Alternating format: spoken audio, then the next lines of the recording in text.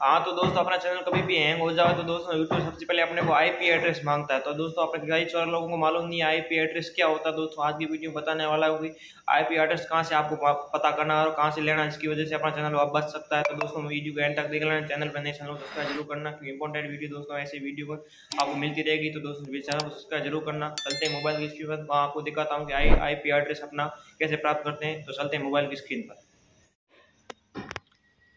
हाँ तो दोस्तों अपने गूगल में जाना है और सर्च मारना माई आईपी एड्रेस सर्च मारने के बाद दोस्त सबसे ऊपर जो अपना आईपी एड्रेस आ जाएगा, यहाँ से अपन को कॉपी कर लेना है और हो जाएगा। हाँ तो दोस्तों आपको वीडियो अच्छा लगा तो वीडियो को लाइक कीजिए प्लीज़ चैनल को सब्सक्राइब कीजिए, क्योंकि ऐसी वीडियो आपको मिलती रहेगी इंपॉर्टेंट वीडियो मिलते हैं अगली वीडियो।